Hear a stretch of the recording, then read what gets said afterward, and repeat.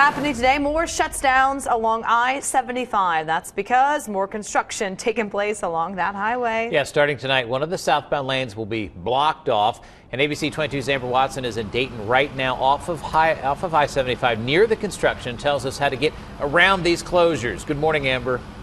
Good morning. I'm downtown right off of Riverview, and you can see the highway here behind me and see the sign behind me. Expect to see more closures here along the highway through Saturday. Now, Main Street, uh, on the Main Street ramp onto I-75 South is one of the closures we will see tonight. And these changes will allow construction crews to work on the new northbound side of I-75.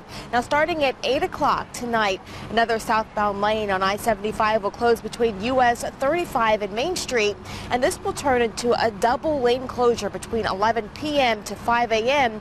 and traffic will be shifted to the newly constructed southbound side of the interstate once the lanes reopen tomorrow at 6 a.m. And during this time, the ramp from Main Street to I-75 South will close and the detour is Main Street to I-75 North to Stanley Avenue to I-75 South now, the ramp from I-75 south to US 35 will also close, and the detour is I-75 south to Edwin C. Moses Boulevard to I-75 north to US 35. And there will be signs in place to alert drivers. Now, as long as we don't see a lot of rain this week, then this sh traffic shift should wrap up on Saturday. Coming up in the next half hour, I'll tell you some other closures to expect this week.